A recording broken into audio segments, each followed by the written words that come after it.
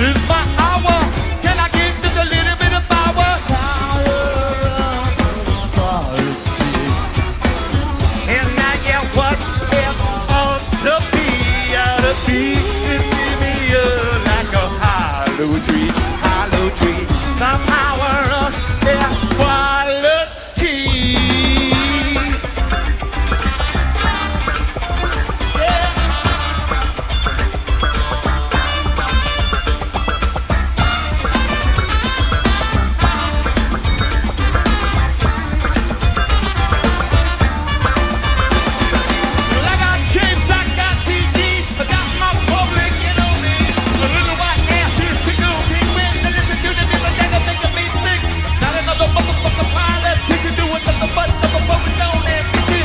Never touched the sound we make. So